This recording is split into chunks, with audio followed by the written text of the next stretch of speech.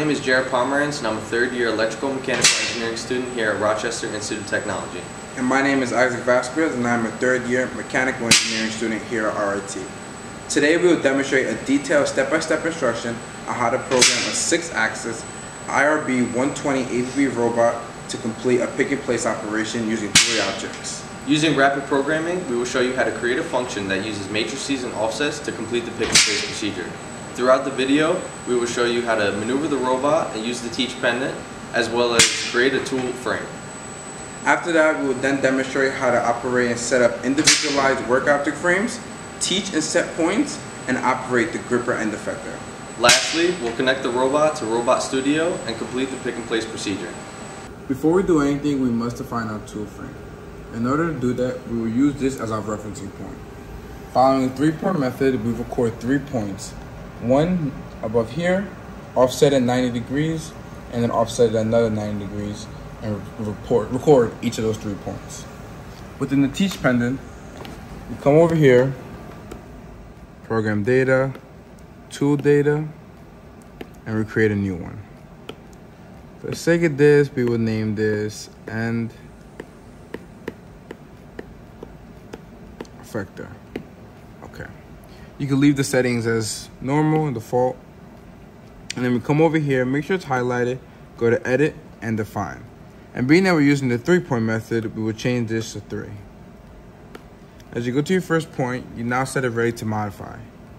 Returning to the jogging menu, you come over here,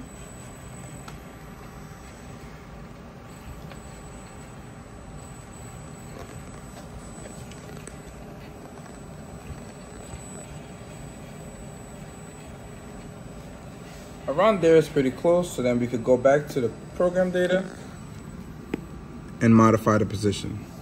We will now repeat this to end it over here. After reaching the second reference point we return to the program data screen and we modify point two. Now point two is saved. Now we have the last point which would be over here. After reaching the third reference point we now go to the teach pendant and modify the final position. After that, you press OK, follow through, and it's important to change several values within the end effector. For starters, you always want to make sure that your mass represents the mass of the actual end effector. It defaults at negative 1, however, that will give you error when it's time to run your code. We could put in 1 for now. Following through, the center of gravity is also important. So a good rule of thumb is to change the Z1 to 90. Press OK we now have an effector. Once you define the three points, you can now enter into motion mode reorientate, as well as the tool corner system. And now as you look at the end effector, notice when you move in this XYZ within reorient, it moves with respect about the end effector tip. That's how you know you defined the end effector correctly. Now that we have our tool frame defined, the next step is to define our work object.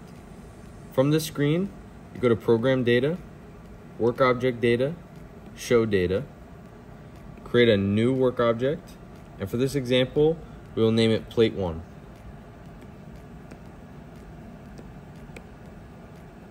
Press OK. Leave these as the default settings. Press OK again. And now it is time to define our work object. For this part, we'll select the three-point method and for the first point, we will select the origin. For this, we will jog down slowly as to not damage the robot or the end effector. And gently touch down at the origin point. Then we will press modify position. The next point to define in our work object is a point in the positive x direction. So from here, the robot is jogged in the positive X. Now again, we can just lower down the robot, slow. Touching down at the point. Back at the teach pendant, press modify position. From here, we'll modify our final point, which is in the positive Y. So jog the robot downwards.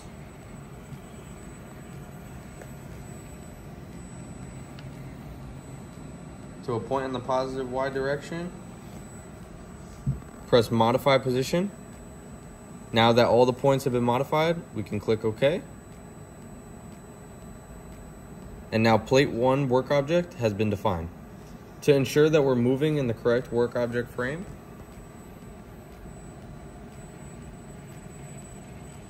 we go back to the jogging screen, change the co coordinate system to work object, and ensure that the work object is plate 1, the work object we just defined. From this, we're in linear motion mode. So as you can see, we will now more easily be able to jog in the positive X and positive Y directions. Repeating the same procedure that we used to define the plate 1 work object, repeat the same steps for plate 2 work object, and this is so that way we can easily maneuver between both work objects while performing our pick and place procedure. This can be seen from the jogging screen. You change your active work object from plate 1 to plate 2. Press OK. Leave the motion mode as linear and make sure that your coordinate system is set to work object, which in this case it is. And if we look at the plate 2 work object, now we can effectively um, jog the robot in the positive X and positive Y directions, as well as the positive, positive Z and negative Z. This will allow, again, for easier mobility within the two work objects. After defining both work object frames, we are now going to teach the robot and save three positions. The first will be a safe position in space, away from the objects. Then within the plate one work object frame, we're going to save a position at this object label it A1. Similarly, in the plate 2 work object frame, we're going to save a position at this object, label it B1. Within the teach pendant, go to program data,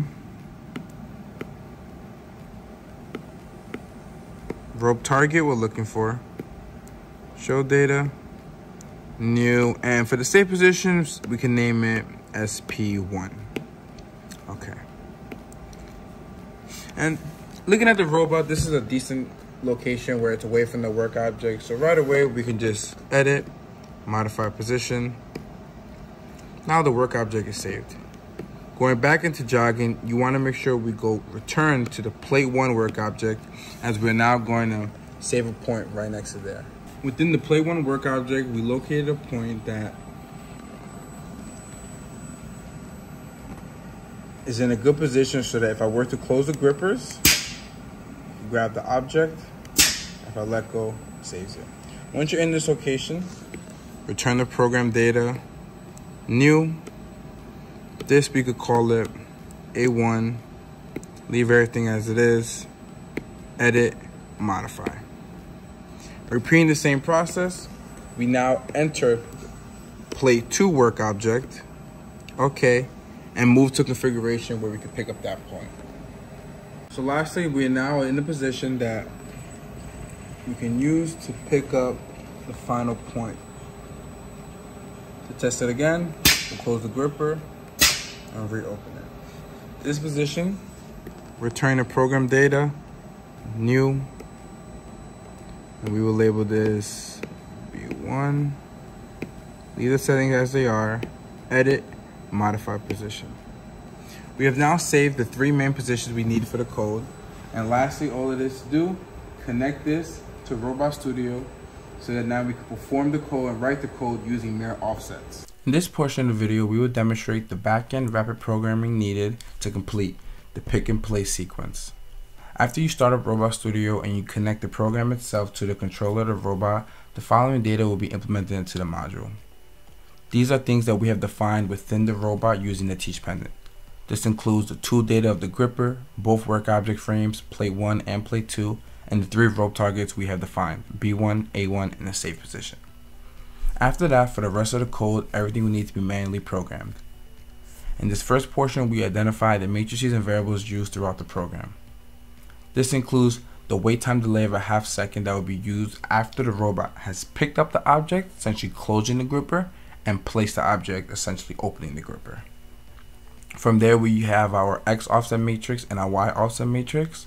The plates used in this pick and place operation are 3 by 3 in which each slot is 30 millimeters away from each other, that is in the x direction and the y direction. Hence why within our matrix we have values that are 30 away from each other. After that, we then identify the current index of our x offset matrix and our y offset matrix, and lastly, we identify our count variable. After that is now time to begin labeling the function and include the variables needed. Essentially within here you are going to write a program in which the robot will move to its desired spots and locations where it will complete one pickup from the first plate in the first slot of the first row and a place within the second plate, essentially the second work object, and that for in that first row and that first spot. So to begin, we want to make sure that our gripper is in an open position. From there, we want to move the robot to the safe position at a given velocity within the first plate 1 work object. From there we want to move to an offset position in the Z direction above the first pickup location. After that we then want to move the robot down to the actual pickup location. At this point the sides of the gripper should be along the sides of the first object.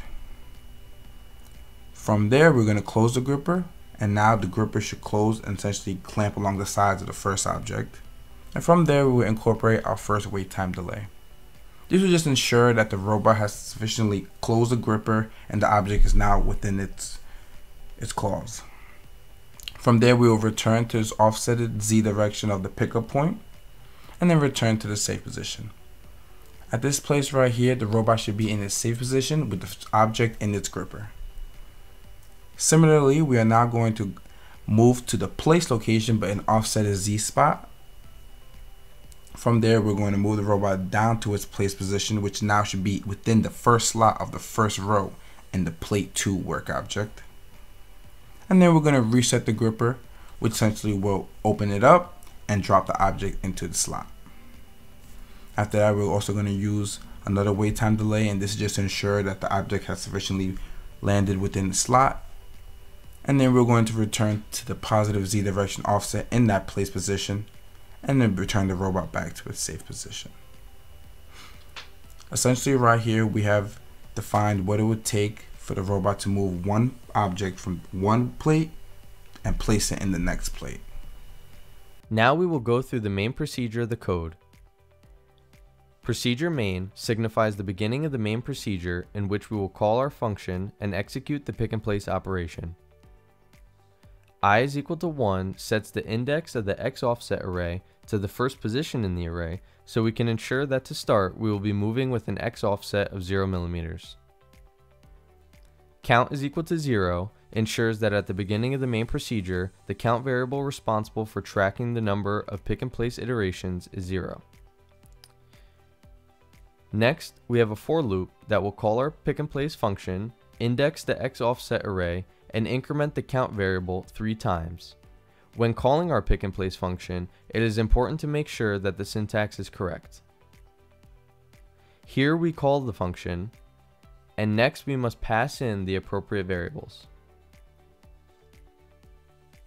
First is the pickup point, with an offset in the x direction that is set by the index of the x offset array. Each time the loop runs, it will index the x offset array and increase the x offset from 0 to 30 to 60 to 90. This is done to make sure that the three objects, each 30 millimeters apart in the x direction, get picked up and placed correctly.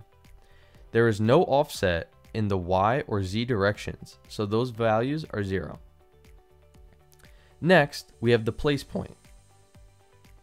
Again with an offset in the x direction that is set by the x offset array. The y and z directions don't have an offset, so those values are again 0. Finally, our work objects, starting in work object plate 1 and ending in work object plate 2. This next line with the end for does exactly as it describes and ends the for loop. Now that the objects have been successfully picked up from plate 1 row 1 and placed in plate 2 row 1, we can proceed with picking from plate 2 row 1 and placing in plate 1 row 2. This if statement checks to see if the for loop iterated three times and in turn that the three objects were successfully placed. If true, then the code will enter this case, reinitialize the x offset array index to 1, and again use a for loop to call the pick and place function, index the x offset array, and increment the count variable three times. This, however, is a little bit different than the previous time because the variables being passed to the function are different. B1 is now our pickup point, A1 is now our place point, plate 2 is the starting work object, and plate 1 is the ending work object. Notice also that since we are placing in row 2 of the plate 1 work object, we must include an offset in the y direction as well as the x. This line ends the for loop, and this line ends the if statement. Once again, we will use an if statement to check that the for loop iterated three times and place the objects correctly. The index of the x offset array is reinitialized to 1, and a for loop will again be used to call the pick and place function, index the x offset array, and iterate the count variable. This section of code will pick the objects up from the second row of plate 1 and place them in the second row of plate 2. This can be shown by the variables passed into the function. A1 is our pickup point. This Y offset shows that it's from the second row. B1 is our place point, and again, the Y offset shows that is in the second row starting in plate 1 work object, ending in plate 2 work object.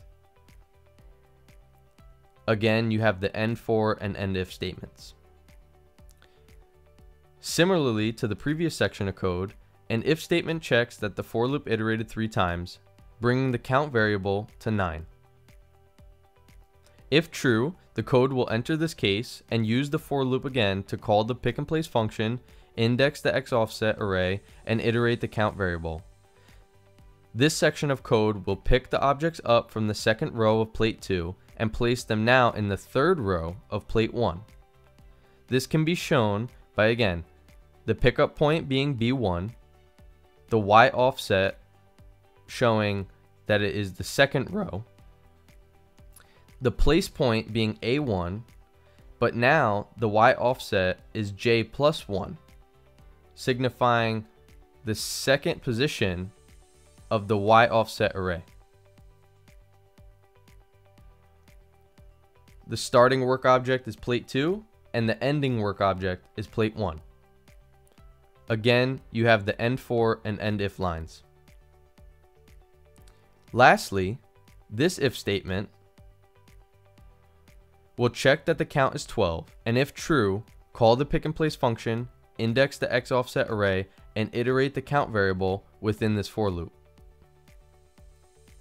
This section of code will pick the objects up from the third row of plate 1 and place them in the third row of plate 2, completing the pick and place procedure.